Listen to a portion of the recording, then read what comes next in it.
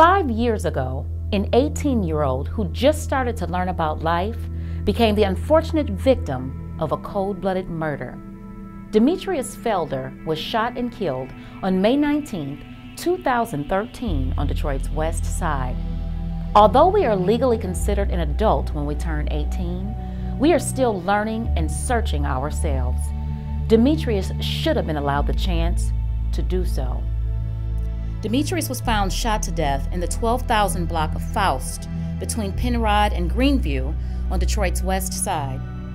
According to the family, Demetrius called his mother around 5 p.m. the evening prior and discussed attending church together the next morning.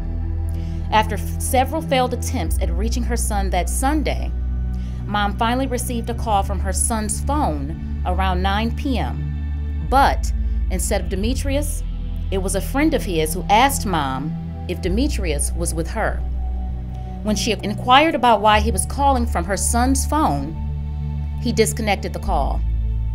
The next day, at 11 a.m., Mrs. Felder received another call from that same friend stating that she should go identify her son's body at the morgue.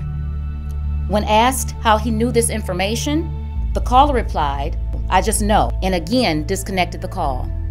Mom would later find out that her son was, in fact, deceased.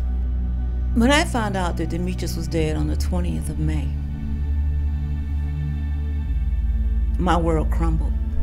That was my youngest child. We had our differences, but he was still my son. He was one of my favorites. He was a very special child. He was easy to love, and he was one to love.